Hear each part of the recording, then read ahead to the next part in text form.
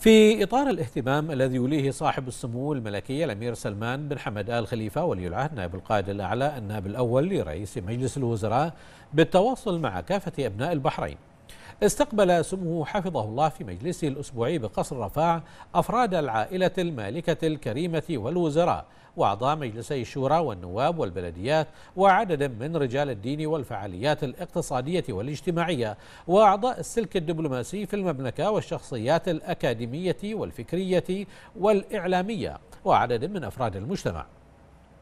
وقد رحب سموه حفظه الله برواد مجلسه الأسبوعي الذي يجسد صورا من صور التواصل الذي يحرص عليه حضرة صاحب الجلالة الملك حمد بن عيسى آل خليفة.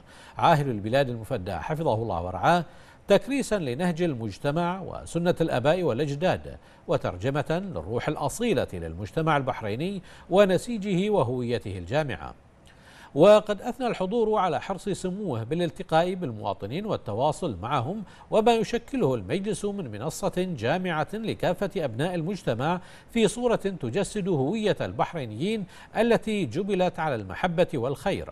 منوهين بجهود القيادة الحكيمة في تعزيز أسس التنمية المستدامة لتحقيق المزيد من الرخاء والتقدم وتأمين الحياة الكريمة للمواطن.